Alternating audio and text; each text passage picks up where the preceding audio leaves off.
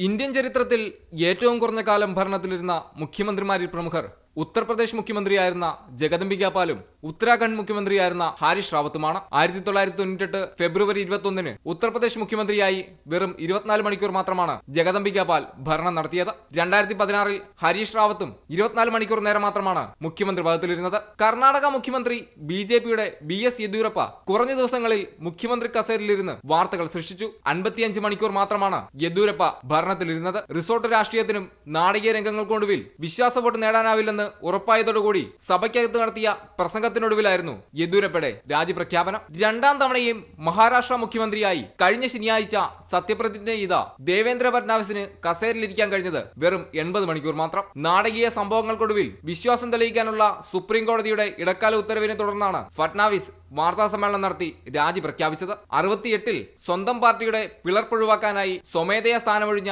ബീഹാർ മുഖ്യമന്ത്രി സതീഷ് പ്രസാദ് സിംഗ് മുഖ്യമന്ത്രി കസേരയിലിരുന്നത് ഒരാഴ്ച മാത്രം. ആയിരത്തി തൊള്ളായിരത്തി തൊണ്ണൂറ്റെട്ടിൽ മേഘാലയ മുഖ്യമന്ത്രിയായ എസ് സി മാരകന് രണ്ടാഴ്ചയ്ക്ക് ശേഷം പദവി ഒഴിയേണ്ടതായി വന്നു.